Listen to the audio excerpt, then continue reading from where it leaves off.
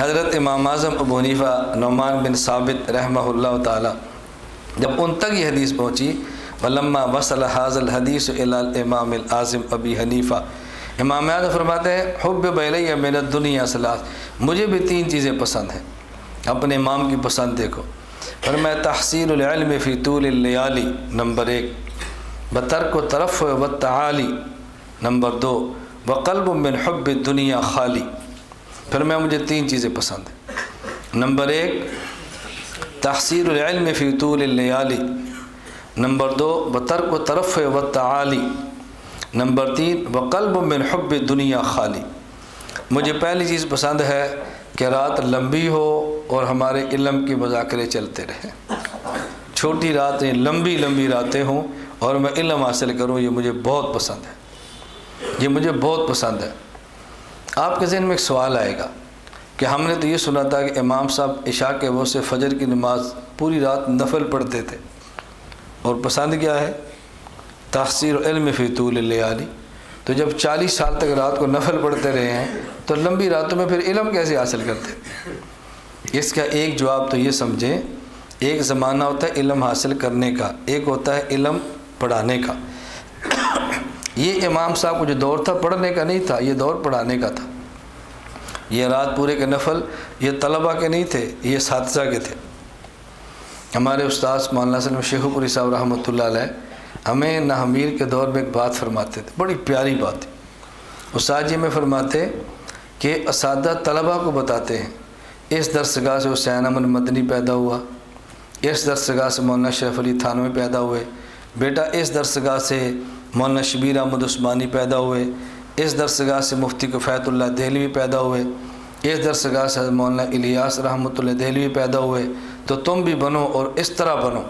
उस्ताद जी फरमाते थे, इस दरसगाह से मौलाना शरफ अली थानवी, मौलाना मदनी, हज़रत इलियास दहलवी अब भी पैदा हो सकते हैं जब मसनत पर शेख हिंद।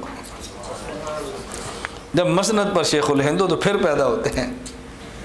अरे फरमाते, तलबा को ना बताओ। मसनत को शेख हिंद बना दो, मदनी आज भी पैदा हो। तो बास क्या मसादा क्या है? वो तलबा के नहीं है। सादा को आगे बढ़ना चाहिए।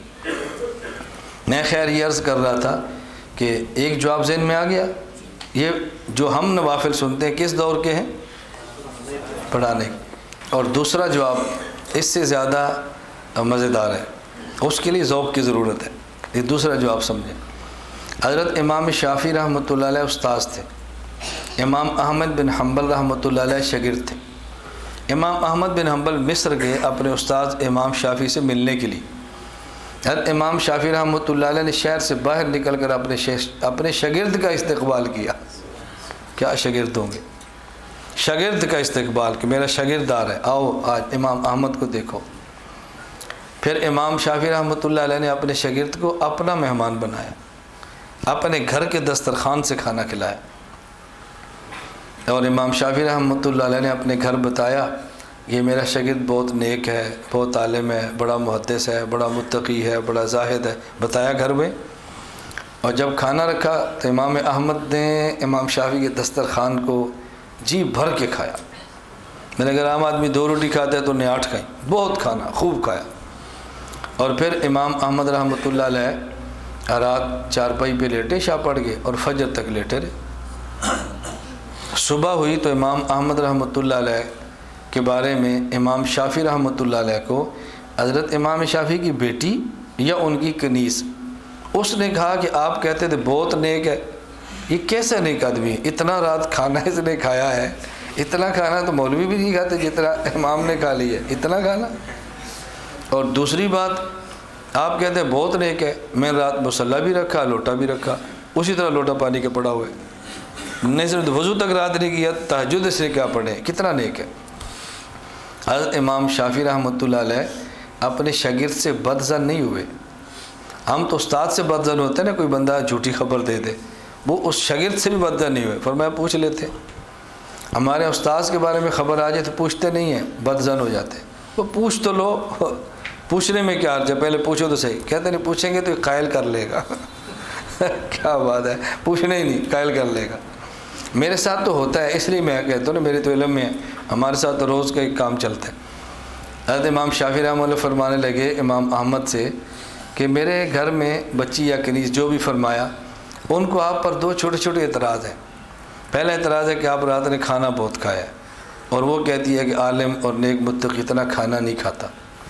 और दूसरा एतराज़ ये है कि आपने वज़ू इस्तंजा तक नहीं किया और लोटा पानी ऐसे पढ़ा आपने नफल नहीं पढ़े। इमाम अहमद फरमान लगे, उस्ताद जी, जहाँ तक पहली बात का ताल्लुक़ है तो मैंने अपने दिल की आँख से जो पढ़ा और जो देखा, वो ये है, मेरे दिल ने गवाही दी कि खाना बहुत मुनवर बबरकत, नूरानी है। तो मैंने अपने पेट से कहा खाना जितना खा सकता है, खा ले। ये इमाम शाफी का दस्तरखान है, दोबारा शायद ना मिले। इसलिए मैंने जी भर के खाया है। जितना खा सकता था मैंने खाया है कि शायद ये खाना मुझे दोबारा ना मिले। तो मैं तो तबर्रक समझ के इसको जितना खा सकता था खाता रहूँ फिर मैं दूसरा ने शाह की नमाज़ पढ़ी, उसके बाद लेटा हूँ। आपके खाने की बरकत ये है कि फजर तक मेरा वज़ू नहीं टूटा। वज़ू करने की हाजत पेश नहीं आई और एक आयत करीमा से रात को 800 मसले मैंने निकाले हैं। एक मसला सौ नफल से बेहतर है और मैंने 800 मसले एक आयत से निकाले हैं। अब फरमाए कि मैं नफल पढ़ता या मसाइल निकालता? तहसील में आली पूरी रात कुरान की तिलावत और उससे मसाइल का इस्तेमाल। अब समझ आ गया? ये है हमारे इमाम। नंबर दो, फरमान लेंगे व तर्क तरफ़ व ताली। मुझे ये पसंद है, बड़ा ना बनूँ। बस, बड़ा ना बनूँ। बोटा छोटा बन के रहूँ, मुझे ये बहुत पसंद है। बड़ा ना बनूँ, छोटा बन के रहूँ। नंबर तीन व कल्ब मिन हब दुनिया खाली। मुझे ऐसा दिल पसंद है कि जिसमें दुनिया की मोहब्बत ना हो, बस। ये मुझे बहुत पसंद है। इस पर कितने वाक़ात हैं, मैं आप सारे नहीं सुना रहा, सिर्फ़ इशारे कर रहा हूँ कि इमाम अब हनीफ़ा रहमत की पसंद किया